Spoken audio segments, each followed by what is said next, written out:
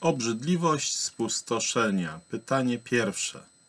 Co oznacza obrzydliwość spustoszenia? Odpowiedź.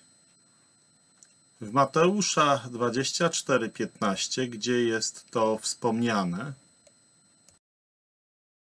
gdy więc ujrzycie na miejscu świętym ohydę spustoszenia, którą przepowiedział prorok Daniel, kto czyta, niech uważa.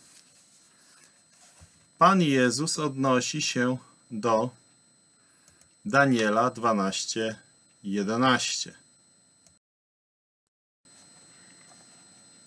Od czasu zniesienia stałej ofiary codziennej i postawienia obrzydliwości spustoszenia upłynie 1290 dni.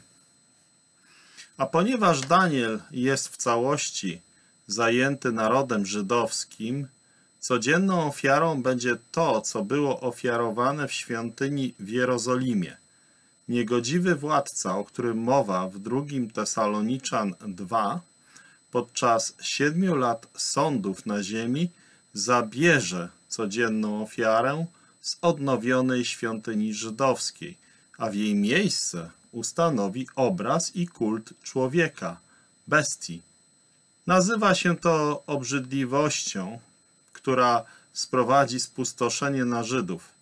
W duchowy sposób wyższy krytycyzm, unitarianizm i inne agencje antagonistyczne wobec objawionej przez Boga prawdy powodują spustoszenie wśród chrześcijan.